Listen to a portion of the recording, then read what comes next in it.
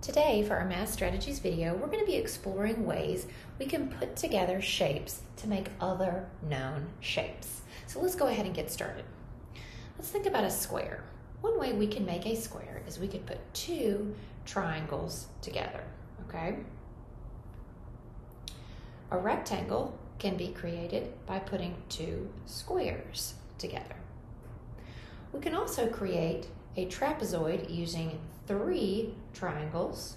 And notice these triangles look a little bit different than the triangles we used up here. We can also make a trapezoid by putting a rhombus and one triangle together. We can create a parallelogram by putting two rhombuses together. Okay? Now, let's take a look at hexagon here and let's see if we can make hexagon using some shapes. Remember, a hexagon has six sides.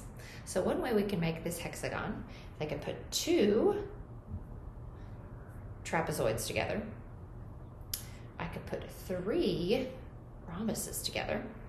And I can put six of these triangles together and it would make another hexagon.